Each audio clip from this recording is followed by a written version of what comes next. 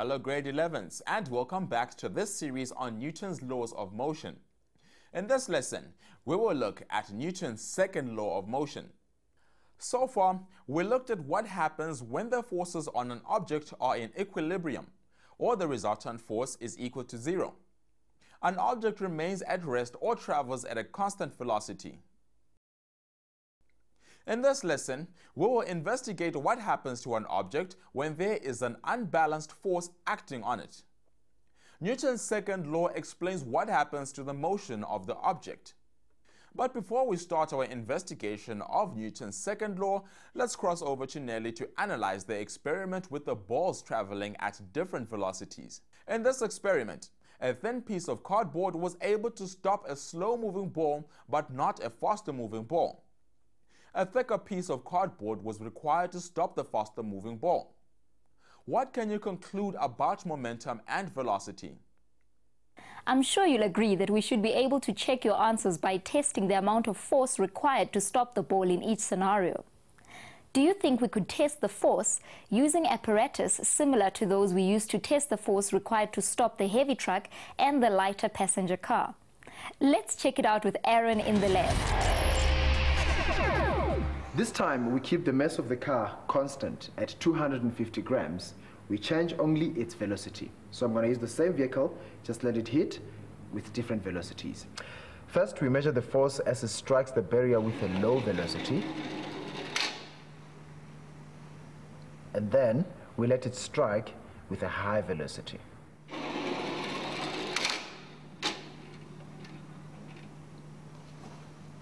Do you see that it takes much more force to stop the faster moving car than it does to stop the slower car?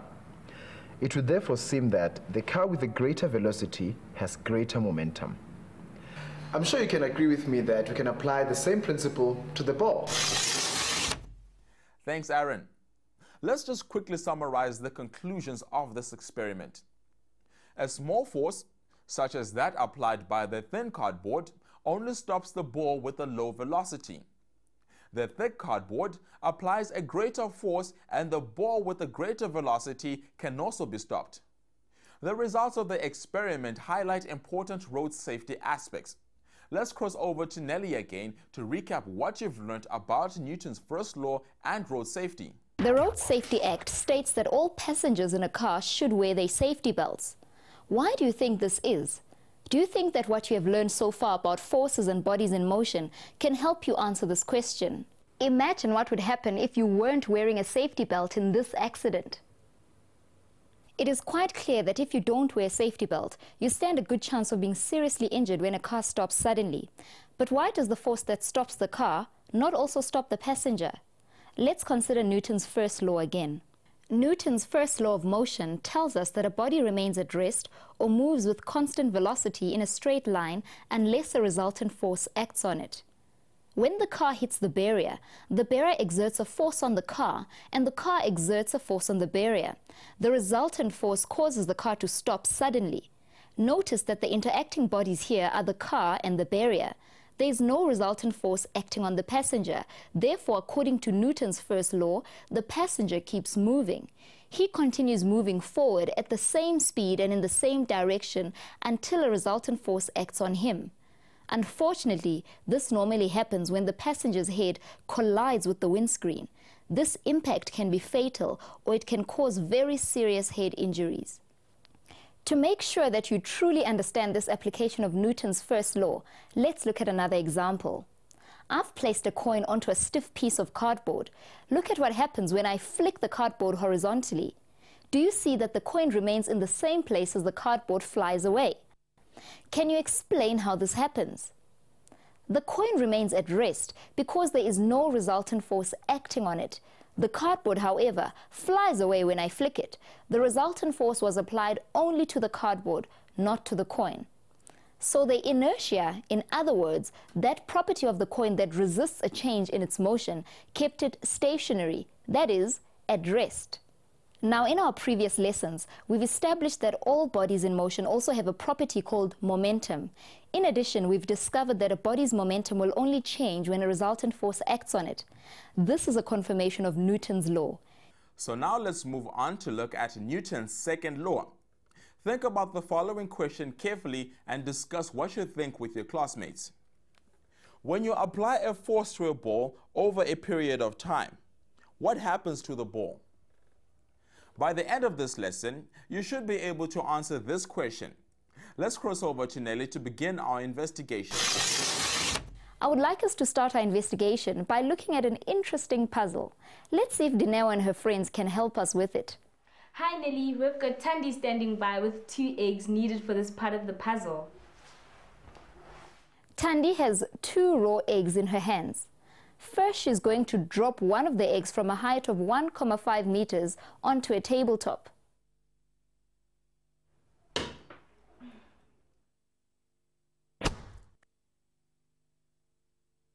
Clearly, the resultant force that the table exerted on the egg quickly changed the egg's momentum to zero.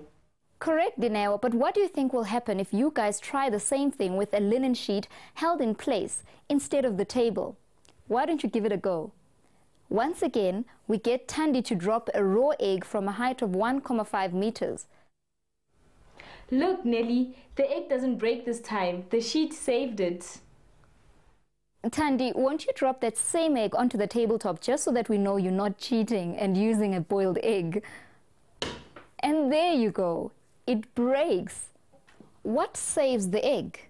The egg traveled at exactly the same velocity when it hit the tabletop as it did when it hit the sheet, because it has fallen from exactly the same height in both cases. Therefore, the change in momentum is the same in both cases. So what is it that is different? Do you agree that we would have to say that the resultant force exerted by the sheet on the egg was somehow less than that of the tabletop? But why?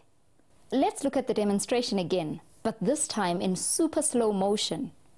On replay, you should be able to see that when the egg smashed into the tabletop, it came to a stop quicker than it did when it fell onto the sheet. In other words, the contact time between the table and the egg is shorter than the contact time between the egg and the sheet. Notice that Nelly described what happened to the egg dropped onto the table and the egg dropped onto the sheet in terms of change of momentum.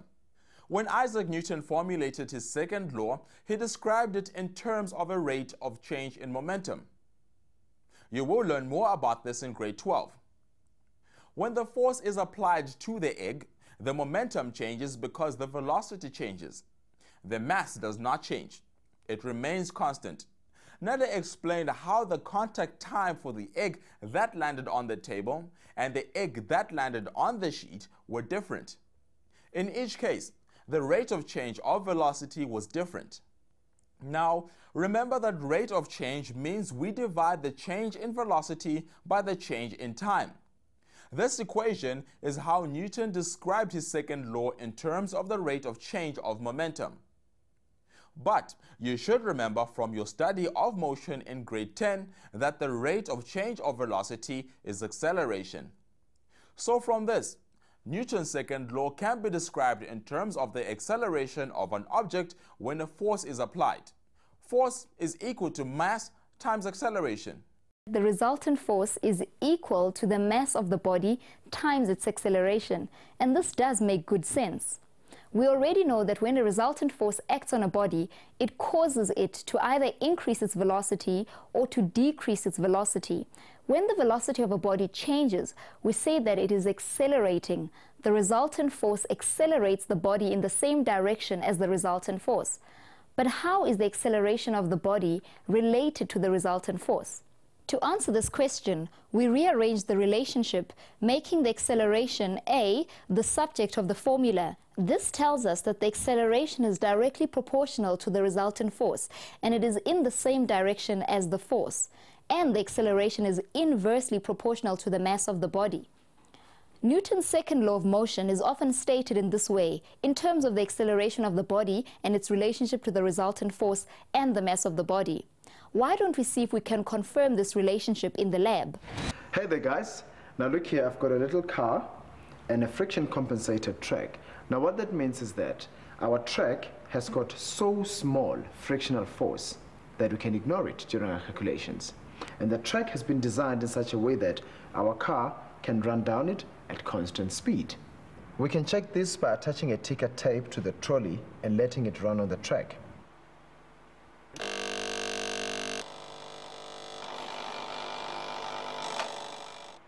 Do you see that the displacement of the trolley over equal time intervals is the same? This tells us that the car travels at constant velocity. Now I'm going to attach this weight onto the car using the slide string. Now the slide string is designed in such a way that it doesn't stretch when I attach a weight to it.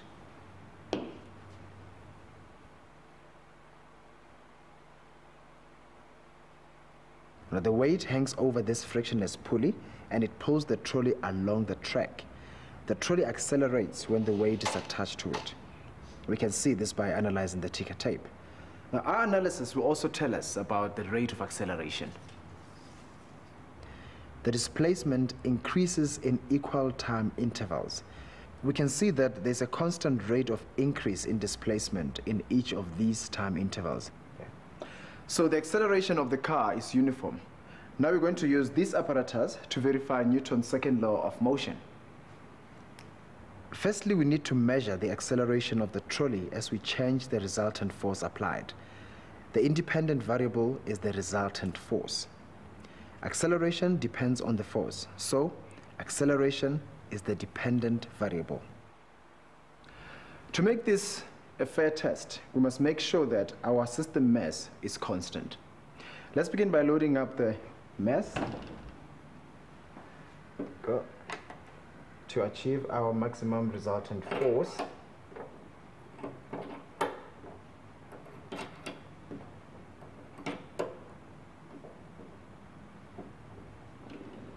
There you go.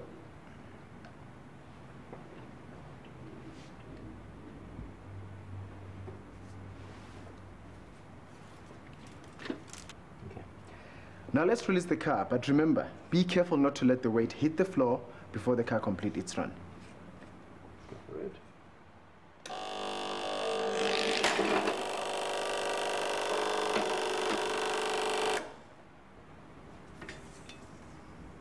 Now we must analyze this tape and label the force we used as 2,5 Newton.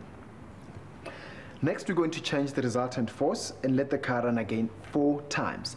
Now, what I'm going to do in each run, I'm going to take one mass piece off the weight, put it onto the car. Now, that reduces the resultant force, but it makes sure that the mass of the system is constant, and it ensures that this is a fair test.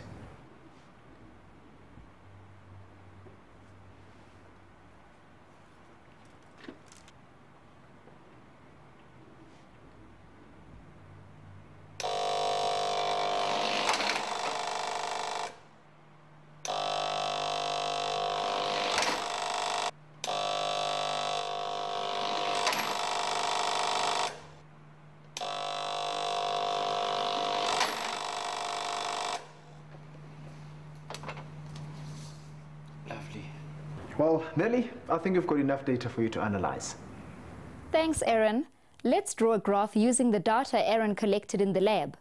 When the results are plotted on a graph, we can see that as the resultant force increased, so did the acceleration.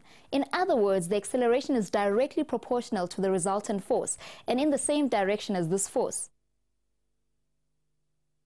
Do you think we can use the same setup of apparatus to verify the relationship between the acceleration and mass of the trolley? Think about it. If we keep the resultant force constant and change the mass of the trolley, we should be able to do it. So we begin by accelerating the trolley using the force which we have on it now. Collect the tape and analyze it. Then we take off one of the mass pieces and repeat the trolley run with the same resultant force applied. If we graph these results with mass as the independent variable and acceleration as the dependent variable, the graph shows us that as the mass increases, the acceleration decreases. It seems to have the shape of a hyperbola. But to check that the results truly give us an inverse relationship, we must plot a graph of acceleration as the dependent variable and the inverse of mass, 1 over mass, as the independent variable.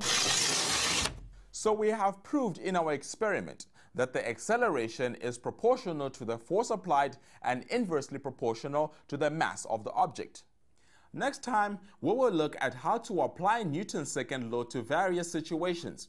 So you need to revise how to resolve forces into components and how to draw force diagrams. Remember to refer to the task video for this series and visit the Mindset website www.mindset.co.za forward slash learn. Goodbye for now, grade 11th.